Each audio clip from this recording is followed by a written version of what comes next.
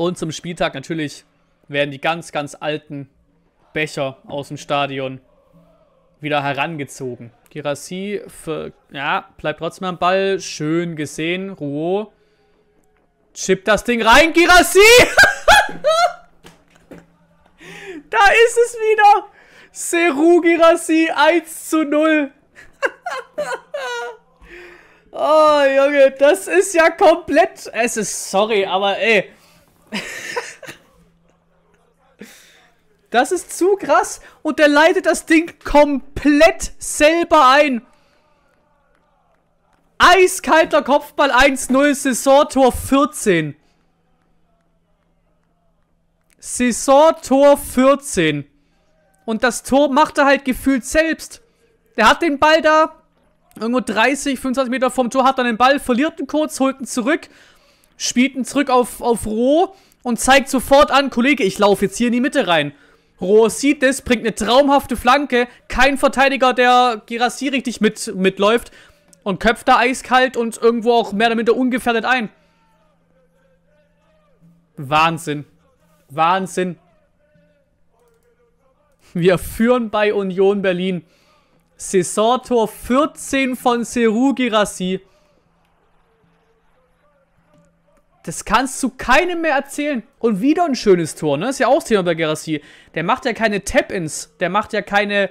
Der hat nicht von 14 Toren irgendwie 8, 11 Meter. Das war wunderschön. Legt einen Ball raus auf Roh, sagt, so Kollege, da laufe ich hin, da spielst du hin. Geiler Ball Roh, perfekt reingeköpft. Das war wieder ein schönes Tor. Gerassi runter, trotzdem getroffen. Alles entspannt. Jetzt müssen wir halt drauf abwarten, was das genau ist. Das ist eine Vorsichtsmaßnahme, wo ich sage, wie gesagt, nimm lieber jetzt schnell runter und lass ihn auskurieren, bevor er sich heute nochmal irgendwie schwerer verletzt. Ist das wirklich ein Ausfall oder kann er gegen Hoffenheim wieder? Das ist jetzt das abzuwarten. Die 14 von 25 erkläre ich dir gerne. Ich habe am ersten Spieltag gegen Bochum beim ersten Saisontor von Gerassi ins Mikrofon, in die Kamera reingebrüllt, 1 von 25. Ich habe mich irgendwie darauf festgelegt, dass der 25 Saisontore macht, so aus Spaß vor der Saison. Jetzt steht er gerade bei 14 für 25 Saisontoren. Da ist halt auch so viel Sicherheit drin in den Pässen. Wenn unsere Passquote ist ja eh bockstark, die von Stiller, glaube ich, mit, einer der besten der Bundesliga. Als Gesamtteam einer der besten der Bundesliga. Eine Sicherheit drin, eine Klarheit drin, Präzision. Das ist einfach auch wichtig dann, auch in so Spielen, in so Phasen. Wo halt mal ein dummer Fehler, ein dummer Pass auf einmal zum 1-1 von Union rausläuft, ne? Dass diese Ruhe, diese Sicherheit, das Selbstbewusstsein, Selbstsicherheit brutal wichtig, die wir gerade haben. Mio, Undaf, kommt nicht an. Silas, aber Silas, geh! Geh! Ja! Ja! Geil! Silas auch mal eiskalt. Schöner Schritt nochmal drüber. Und dann lange Ecke. 2-0. Boah, ist das geil. Das 2-0 hat so gefehlt. Das 2-0 hat für, für die Sicherheit im Spiel so gefehlt. Wie gesagt, vielleicht kommt ja ein Konter, da ist er. Ist den halben Schritt früher dran als der Unioner. Macht Übersteiger, da liegt Renault auf dem Boden. Lange Ecke, eiskalt drin. Geil. Geil, geil, geil. Boah, ist das wichtig. Eiskalt, wirklich eiskalt. Man könnte fast sagen, gelernt von Girassi. Das ist ein Treffer, wie Girassi machen würde. Macht doch den einen Haken, den einen halben Übersteiger mit der Keeper auf dem Boden liegt und haut einen eiskalt rein. Girassi-esk, sag ich mal. Geil, freue mich auch für Silas. Dem fehlt auch oft das Endprodukt und da ist es mal da. Und Girassi ist bei Silas. Guck, da ist es im Jubel. Boah, junger Vater. 2-0 bei Union.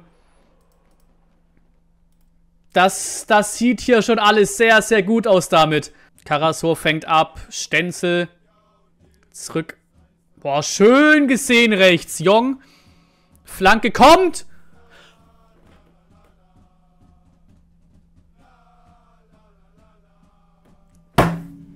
Drei Null. 3-0. Union in the Matt. 3-0 Dennis Undaff.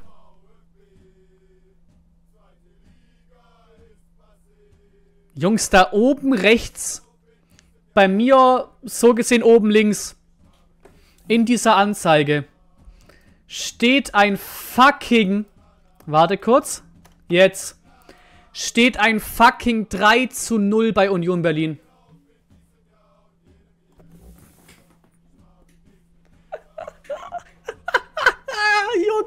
Junge, Junge, Junge, das, das wird wieder, das wird wieder bis morgen oder bis Montag brauchen, bis ich das wieder so ganz für mich, ganz für mich raff, was hier wieder passiert.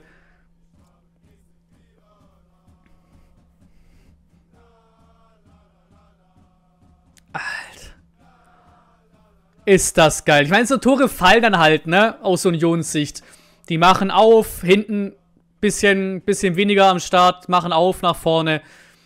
Ball abgefangen. Ist ist auch wieder so traumhaft rausgespielt, ne?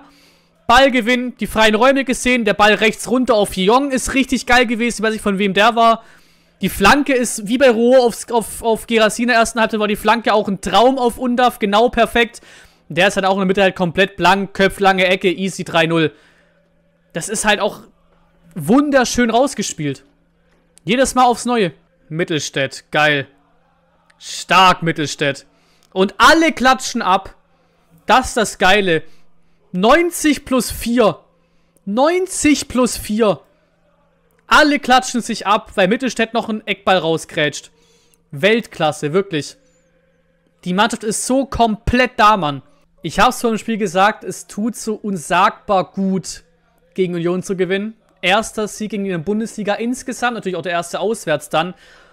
Und das halt direkt mit einem 3-0 sechs Bundesliga-Siege am Stück. Auch sechs Stück mit mindestens zwei Toren Unterschied. Wir bauen, wir bauen quasi geholte Rekorde auch noch aus mittlerweile. Klar, Gerassi ein bisschen schade, trotzdem getroffen. Auch das wunderschön rausgespielt. Schöne Flanke, schöner Kopfball.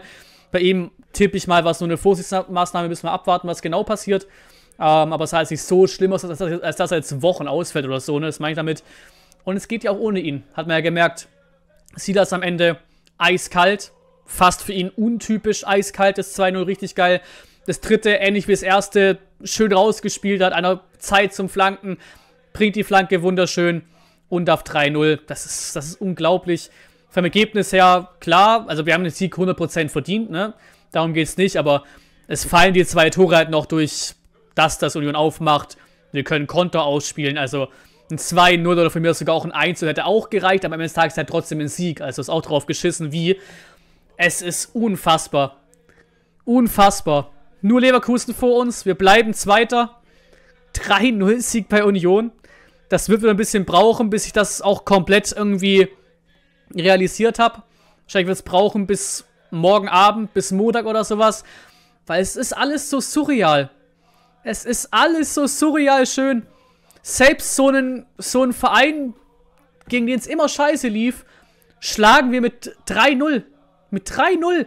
Hier nochmal die, die Leveling-Chance gerade vor mir nochmal auf dem Bildschirm. Hätte sogar noch höher ausgehen können oder schon früher das 2-0 stehen können. Unfassbar. Unfassbar, was wir für einen Lauf haben. Das ist unbeschreibbar. Und warum soll es nicht weitergehen?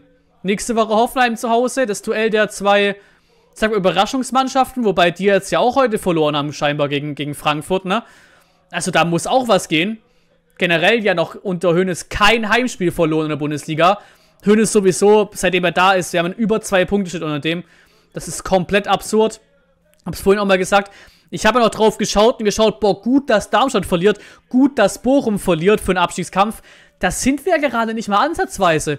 Das ist immer noch das Grundziel, die 40 Punkte oder auch ein bisschen weniger als 40 Punkte für einen sicheren Klassenhalt und einen frühen sicheren Klassenhalt. Das bleibt weiter das Ziel. Aber wir sind ja gerade 15, 16, 17 Punkte vor dem ganzen Abstiegskampf da unten. Vor Platz 16, 15, 17. Das ist komplett absurd. Danach Union zu Hause auch noch im, äh, in der, im Pokal. Lasst es einfach für immer so weitergehen. Lass es so weitergehen. Abgekocht, selbstbewusst, selbstsicher eiskalt 3-0 bei Union runtergespielt. Kompletter Vollwahnsinn. Gerne eure Meinung, euer Spielfazit in den Kommentare. Ja, es ist. das, das wird ein bisschen dauern, das zu, das, zu, das zu verdauen, aber halt diesmal endlich im positiven Sinn und nicht wie letzten Jahre immer wieder in einem negativen Sinn Spiel zu verdauen, sondern im positiven Sinn. Und auch deswegen sage ich auch oft, haben wir uns das alle verdient. Was haben wir letzte Jahre für Scheiße fressen müssen am laufenden Band? Gefühlt letztes Jahrzehnt Scheiße fressen müssen am laufenden Band. Deswegen genießen, genießen, genießen.